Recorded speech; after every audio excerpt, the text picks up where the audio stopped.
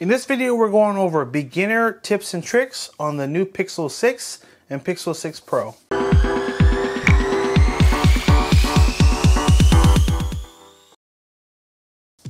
Welcome back to another video.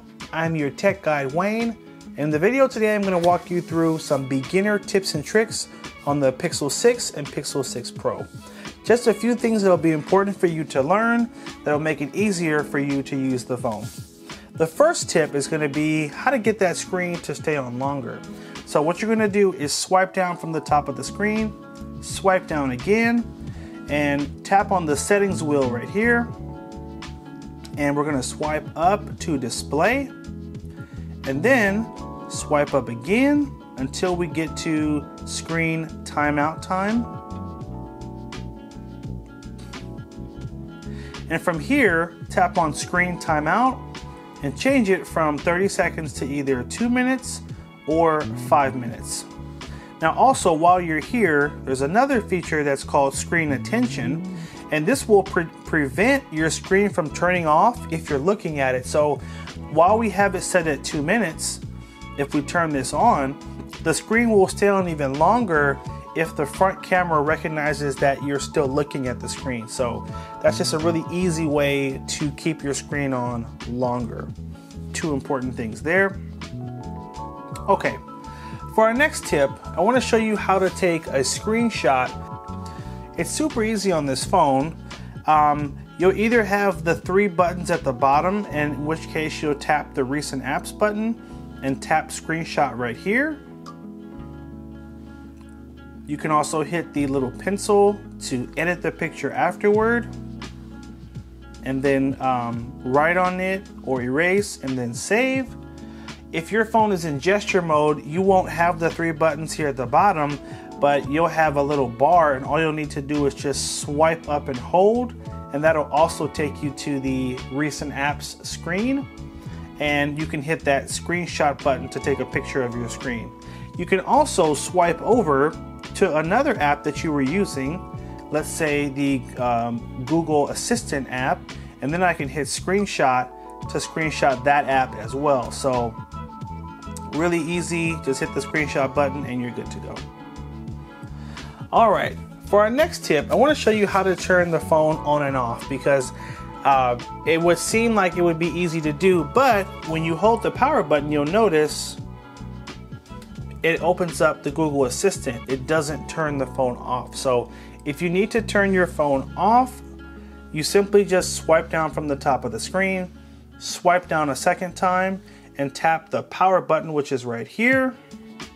And it will give you the option to restart the phone, to power off, or go into the emergency mode, which will have the phone make a noise and alert people that you're in trouble.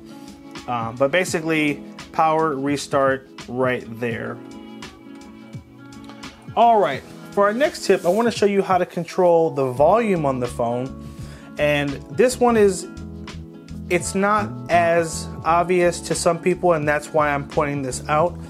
Um, so you, you're gonna tap the volume up button and this is what brings you to the menu to control the sound setting for the phone. It goes away quick, so uh, pay close attention. So I'm going to press the button. The bell with a slash means that you're in silent mode, and the first option, this one here, means that you are in vibrate. So that's how you switch between the sound settings on the phone. Volume up, and then just select which option you want to be in. If you're in a meeting, obviously vibrate. If it's at night, you might want to be on the silent, and if any other case, you may want to be just on the normal bell with nothing covering it. And then this is your volume uh, leveler, which you can use to raise the volume up and down. And if you tap on the three dots at the bottom, this will allow you to control all of the sound volumes on the phone. So media volume, which is playing music or, or watching a video, the call volume, so you can see how loud the call is coming through the phone, the ringer and notification volume, so you can control how loud the phone will ring, and then obviously your alarm volume. Those are the main four volumes to control. All that happens or is accessed right through the volume buttons here. And our very last tip is going to be how to close running apps. So if you hit the recent apps button, this will take you to your running apps menu here. Now, um, all you need to do is simply swipe to the right. And once you get all the way to the right, it will then bring up an option to clear all. And the clear all is going to close all your running apps for you in one shot. So that's the quick way to close all apps at one time.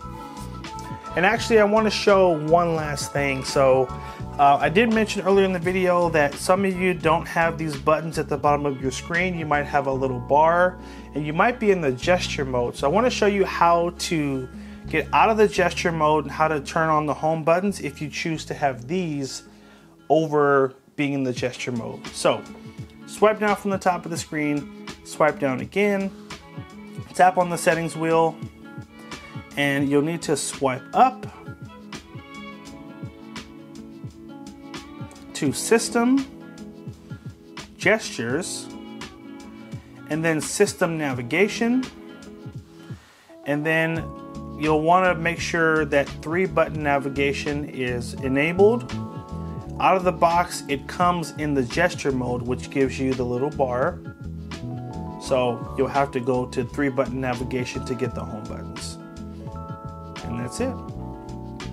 Hope you guys found that helpful. I've been using this phone for quite a while and a lot of these little things were not as obvious to me when I first got the phone.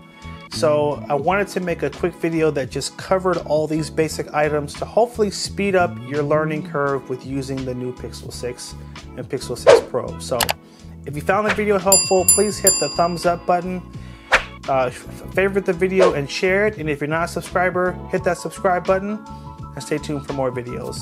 Take care, and as always, have a good one.